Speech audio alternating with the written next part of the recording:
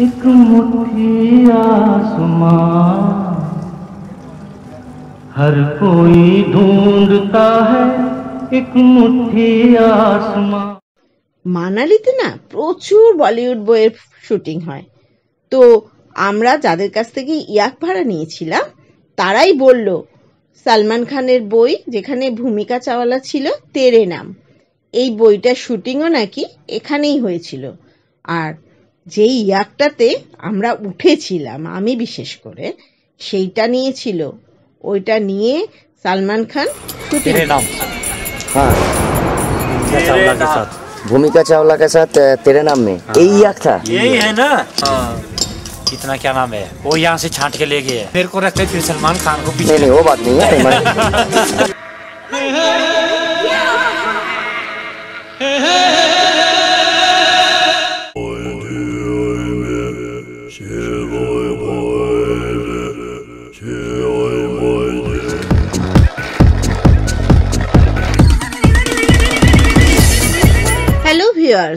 কেমন আছেন সবাই?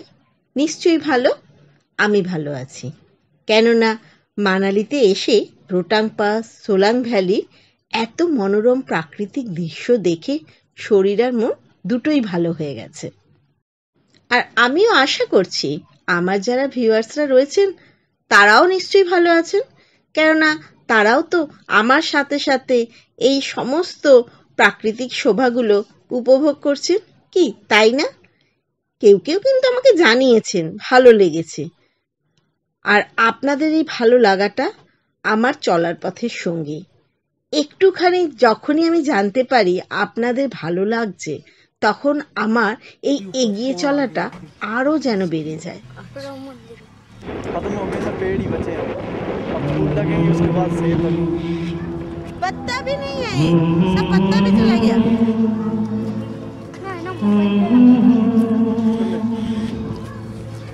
চলুন,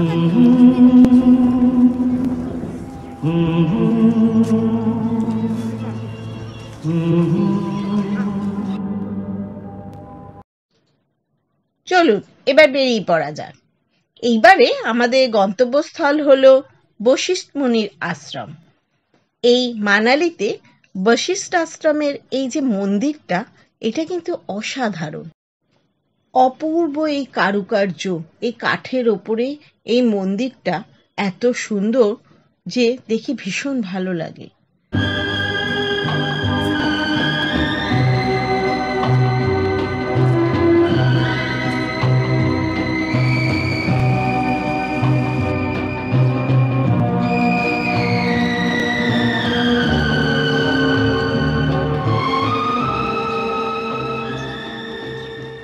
এই বশিষ্ঠমণির আশ্রমটি একটা উঁচু পাহাড়ের চূড়ায় এই মন্দিরটি। একান্ত নির্জনে অনাড়ম্বর এই আশ্রমের প্রাঙ্গণ। এসে দাঁড়ালে মনটা যেন কেন উদাস হয়ে যায়। আর এর যে সামনেই রাম মন্দির রয়েছে।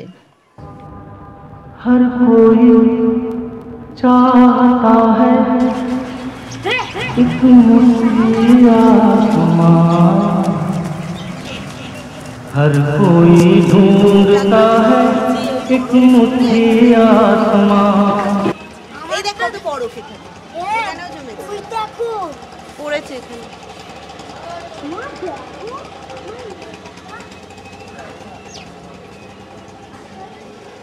চারিদিকটা কিরম যেন ছোট বড় বরফে ঢাকা রয়েছে মন্দিরের চারপাশটা বেশ সুন্দর লাগছে কিন্তু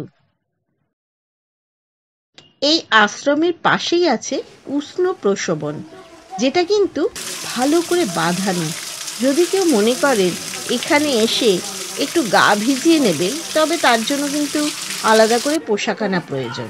তাহলে নিজের মন মতো গাটাকে ভিজিয়ে এই ঠান্ডার মধ্যে গা শুকিয়ে নিয়ে আবার পোশাক পরে বেরিয়ে পড়ুন। আমরা অবশ্য যাইনি, কেননা আরও অনেক জায়গায় আমাদের যাওয়ার ছিল।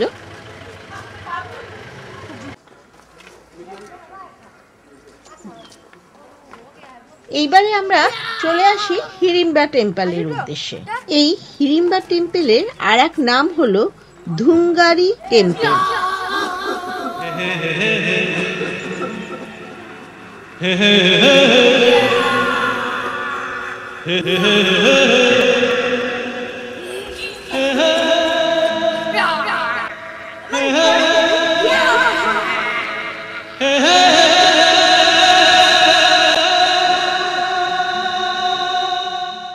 এই মন্দিরটি হিমালয়ের পাদদেশে ধুঙ্গারি ভান বিহারের নামে একটি দেবদারু বন দ্বারা বেষ্টিত। চারিদিকে এই মন্দিরে দেবদারু গাছে ভরা। একটা গুহা মন্দির, যা ভারতীয় মহাকাব্যে ভীমের স্ত্রী হিড়িম্বা দেবীর উৎসর্গ করা হয়েছিল।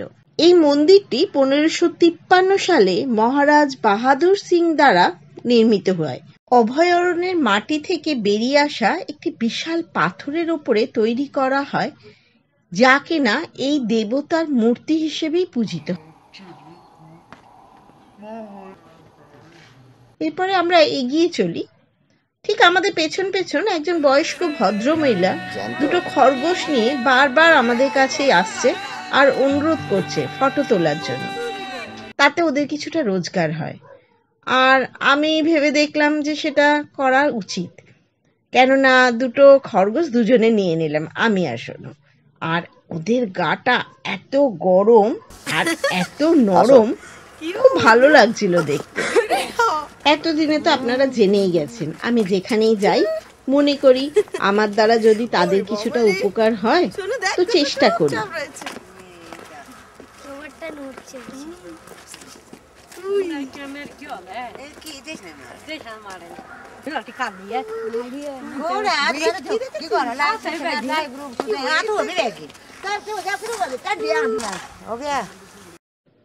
আমি রেকমেন্ড করব যদি কেউ ঘুরতে আসেন ওদের পোশাক পরে এক দুটো ক্লিক হয়েই যেতে পারে। দেখতে কিন্তু খুব সুন্দর লাগে।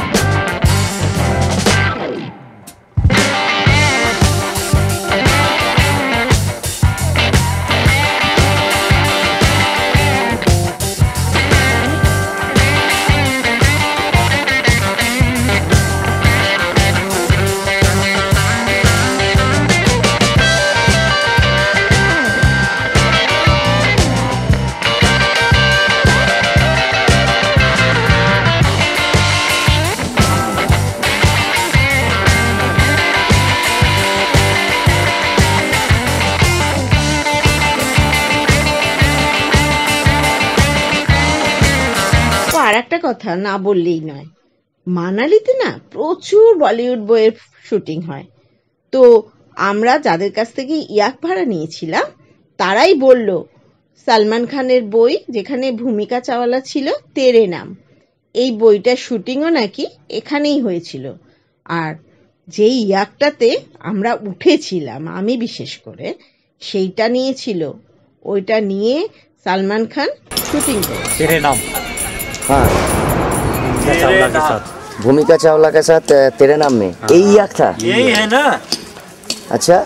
हाँ। कितना क्या नाम है? वो यहाँ से छांट के ले गए वो आपको रखा था क्या फ़िल्म में? ना आप आपको लिया अगर मेरे को रखते फिर सलमान खान को पीछे नहीं नहीं वो बात नहीं है मैं- वो बात तो यही है। वही हो गया ना सर शूटिंग कहाँ पे हुआ था? सोलंग वली में हुआ है। हाँ? सोलंग वली सोलंग वैली में हाँ। नदी के किनारे पर। हाँ, हाँ, हाँ, एक वो साइकिल का जो सीन होता ना हाँ हाँ हाँ हाँ। वो भी वही हुआ है। पुल नहीं है? हाँ हाँ हाँ राइट। वली में आता पुल रेड जैसे पुल है कल उठाया था पीछे से।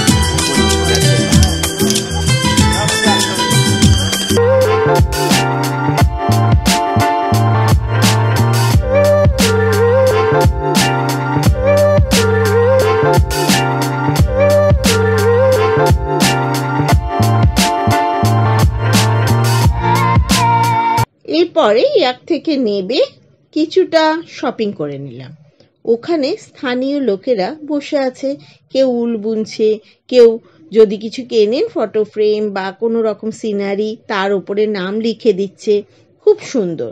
তবে আমি কিন্তু রেকমেন্ড করব বড় দোকান থেকে না কিনে যদি সম্ভব হয় সদস্যদের জন্য বা বন্ধু বান্ধবের জন্য কিছু কিনবেন তো ওদের থেকে কিনুন।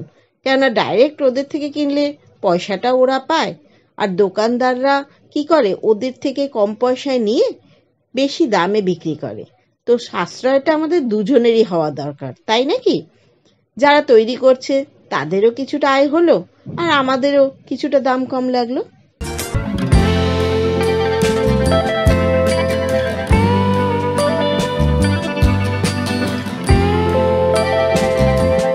এরপরে যাব ওখানে এত খরগোশ। এই কি লোম? একবার উল যে তৈরি হয় এই খরগোশের লোম থেকে এই লোমগুলো গরম ওদের গা? ওই জন্যই উলগুলো এত গরম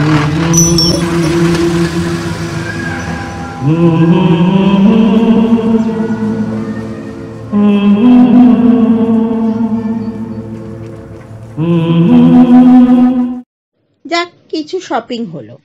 এরপরে আমরা যাই মনু টেম্পেলে ঋষি মনু ছিলেন ভগবান ব্রহ্মার পুত্র এবং ভগবান বিষ্ণু একনিষ্ঠ ভক্ত। বেদের বর্ণনা অনুযায়ীও মনুই ছিলেন বিশ্ব সংসারের প্রথম মানুষ।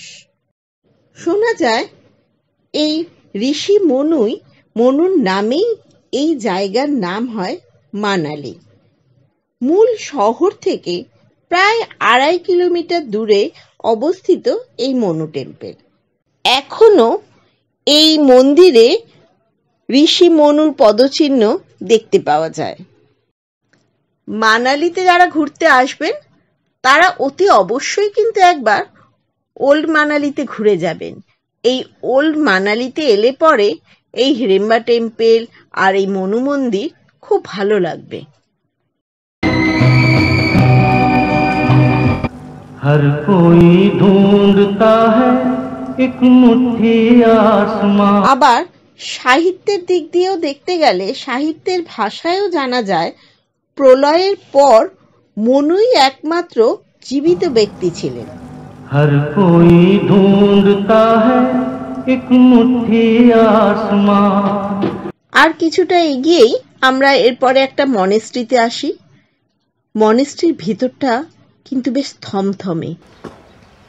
এক কোণে একজন মং বসে বসে নিজের মতো মন্ত্রপাঠ করে যাচ্ছেন আর চারিদিকটা চুপচাপ, প্রচণ্ড কালারফুল চারিদিকে এক একটা মূর্তি দেখার মতো। আর শান্ত, স্তব্ধ যে জায়গাতে শুধুমাত্র মন্ত্রটাই কানে আসছে। গাটা ছমছম লাগছে কিন্তু। ভালোও লাগছে।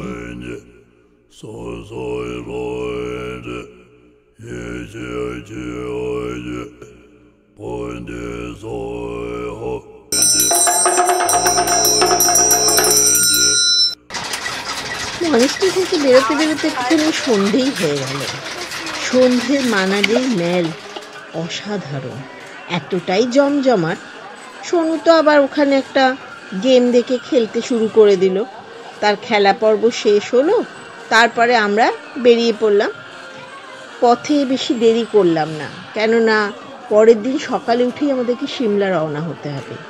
তাই রাত না করে ওখান থেকে ওখানকার বিখ্যাত তাওয়া চিকেন আর তাওয়া ফিশ কিনে নিয়ে আমরা ঠিক করলাম হোটেলে এসে হোটেলের রুমে বসেই খাবারটা খাব। আর ডিনারটা কমপ্লিট করে তাড়াতাড়ি শুয়ে পড়ব। কেননা পরের দিন তো আবার বেরিয়ে পড়তে হবে না। আর আর এক জায়গায় যাওয়ার জন্য নতুন গন্তব্যস্থলে সাথে থেকো। শেষ রাত্রি। আজকে এখানে প্রচণ্ড ঠান্ডা মাইনাসে যাচ্ছে। তাই জন্য আমরা এখানকার বিখ্যাত খাওয়া তাওয়া চিকেন নিয়ে এসে হোটেলের রুমে বসে খাওয়াচ্ছি। আর আমরা কালকেই সকালবেলা বেরিয়ে যাচ্ছি সিমলার পথে। সিমলা দেখে কলকাতায় তোমাদের কাছে, সবার কাছে চলে আসব। আমাদের এই জার্নিটা প্রচণ্ড আনন্দের।